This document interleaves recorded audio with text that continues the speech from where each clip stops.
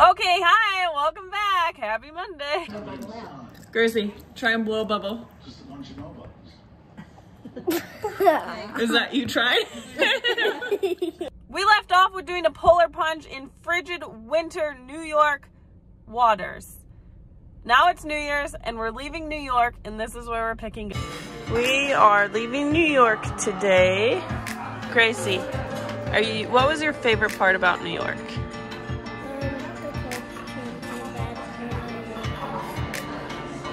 Swimming and the couch turning into a bed? What was your favorite part about New York? Was it family? Was it what? The museum was your favorite part?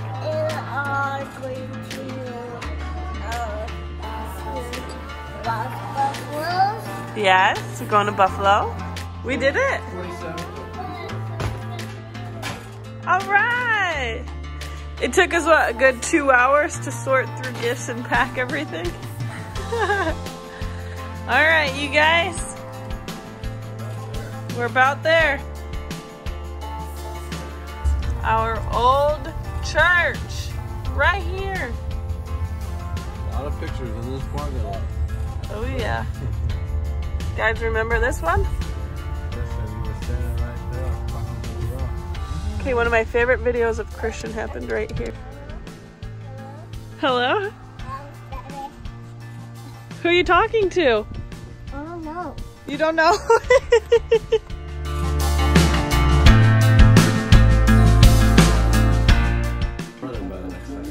I know, what's she gonna look like?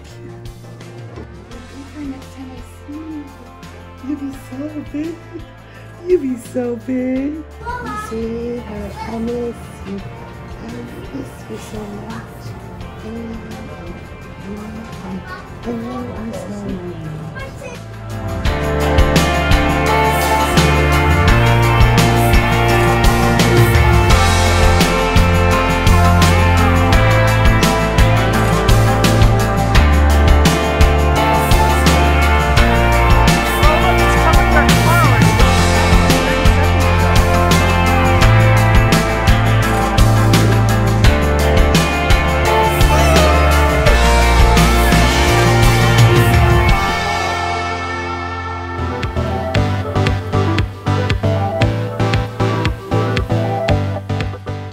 On an airplane?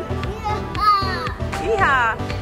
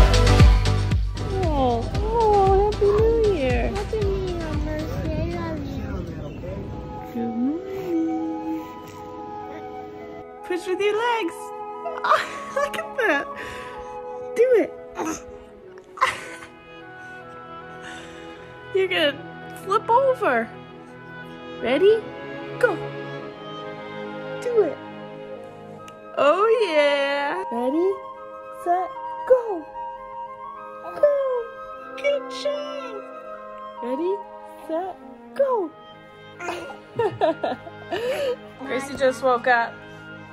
First thing she did was put her police officer outfit on.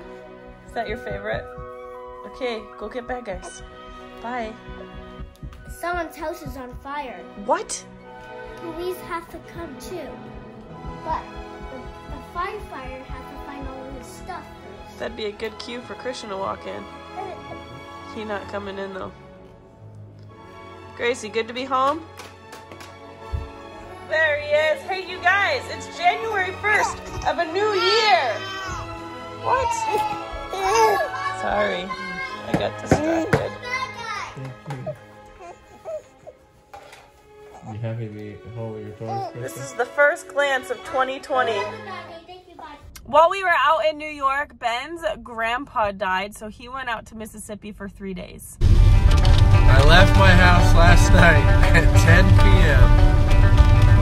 Know, we just got back from New York.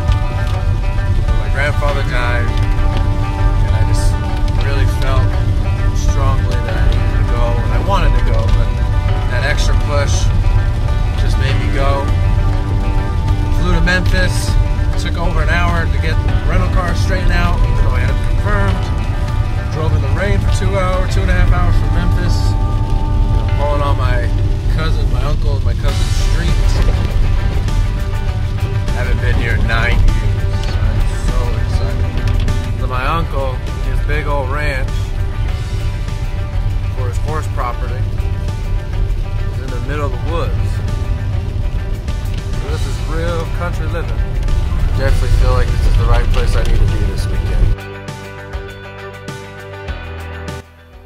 my Uncle Mike's and Aunt Janet's property here in Starkville, Mississippi. Horses everywhere. He used to have about over 100 horses here, but now he's only got about 64. Still a lot. Watering all the horses. It's feeding time, feeding time.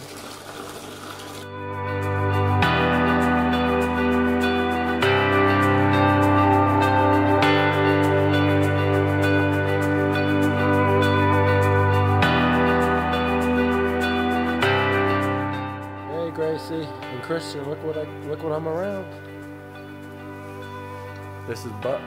His name is Buck. And There's horses everywhere. Love you.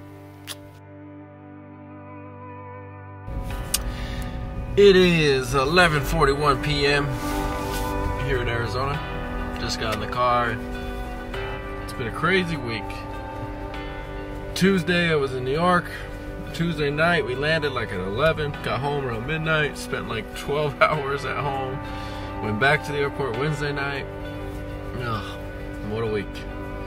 But a very good week. Saw literally all the family, both my wife's side and my own side. Mommy, Sky Band-Aid. It is. Yeah, Christian, you excited for your big day? What do you need to grab from up here? I want I just need to put makeup on. Hey! You excited Dad's home? Dad just came home from Mississippi late, late, late, late, late last night. That's for you. you. It's a cowboy belt buckle. A real one. A real one. It was his your great It's grandpa's. great grandpa Doyle's Carraway. You should pick which one you want. Look who's back! Don't ever leave me ever again. Three days without him. Mm. Uh, Christian, today's a big day. Yeah, Yeah, what's today? Big kids class? It's Christian's very first day in primary. Look at that face. That's a face of primary. He's gonna love it because this kid gets up every fast and testimony, and then after church he'll find a microphone in the primary room to give like pretend church talks. So now that he'll be assigned to give like little talks in primary, he's gonna be so excited. Also, if we look a little extra chipper today, it's because today is the first day that we don't have 8 o'clock church. It's 9.30 in the morning and we are feeling funky fresh, although parking is not as great as options. But we are chipper.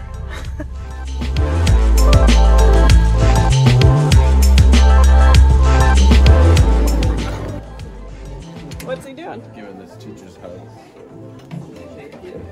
Big kid now, huh? Did you say bye? Mm-hmm. Did you give her a hug? Are you ready? Oh my gosh, here we go. Go ahead.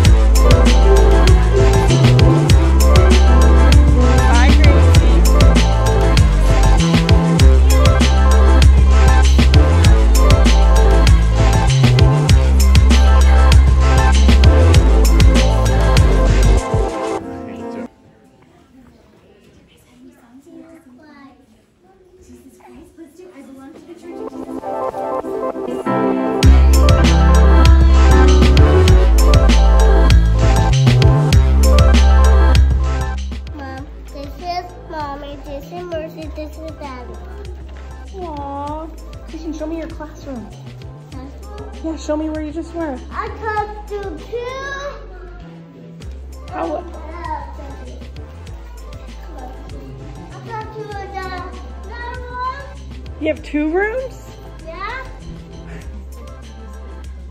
Right there. That one. This one. Yeah. That's your other room? You have two rooms? Yeah.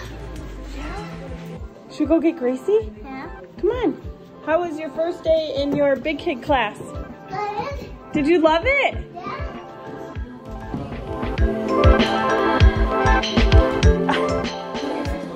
That's a Book of Mormon. And who's that by the tree? Joseph? It came out awesome. Christian, are you stealing a sticker?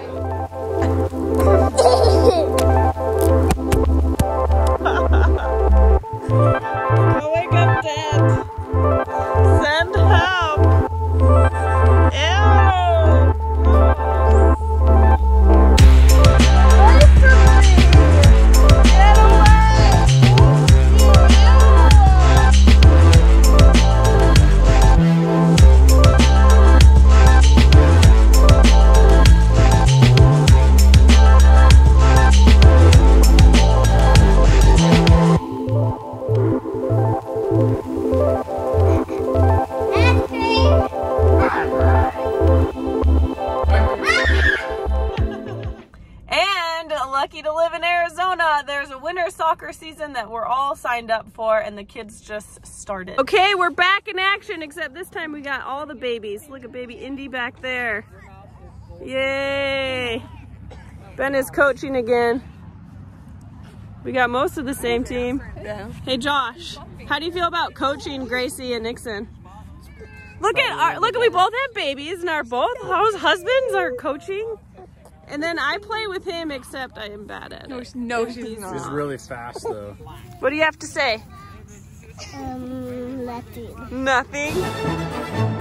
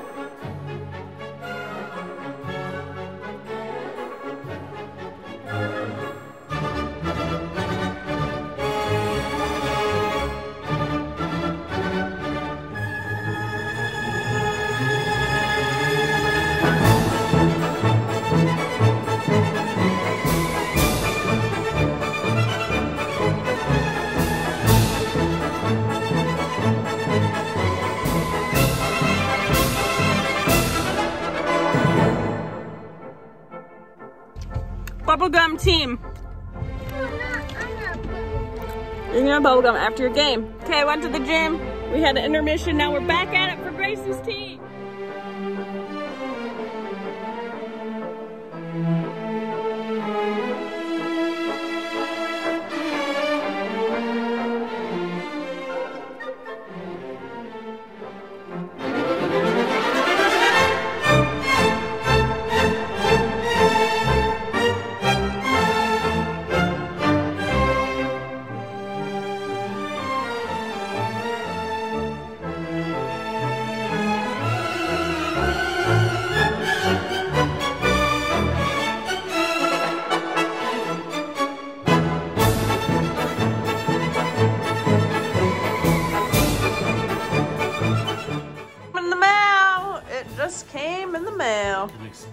Piece of paper. Oh, I got two of them. Two times. Should we go for three? Oh, the chomp chomp. Yeah, go for three. Pretty exciting. Thunderbird and Arizona State. In two days, I am leaving for New Zealand to speak seven times in New Zealand. That video will come out eventually. We'll get into this week's message and montage. I'll start the music. Look, there's no nail. That's all skin. I'm missing a nail. Anyways. I would not care about the church if I grew up in the church. I know that for a fact. I personally needed the contrast because with the contrast came a surety and determination to stay when it's hard. And it is hard. I'm good at unconsciously limiting our limitless God. I limit him to only a few adjectives, and when he doesn't fit within that simple box that I myself place around him of how he comes to me and answers me and helps me, I wonder and doubt where he is and his role in my life. But when I am reminded of the reality of my before and after of joining the church, I know in those quiet, hard times, he is showing me what else. Because of going so long without him and his resources, and because of the contrast I felt, I know that he is always there. So in the times where I don't see him or hear him or understand him, I know there is something more to learn of him. If we know that God is there and he is real, then during those hard times, I start looking and noticing different ways He is answering me and trying to guide me and teach me and bring me to better things and show me how great He really is. Through my stubbornness and determination and experimenting, by giving God the benefit of the doubt, I'm starting to see just how limitless and meticulous He really is in our lives. Our God really is so good and vast and limitless and He'll show us if we choose Him over the easy questioning and second guessing and look for Him to see what else He has.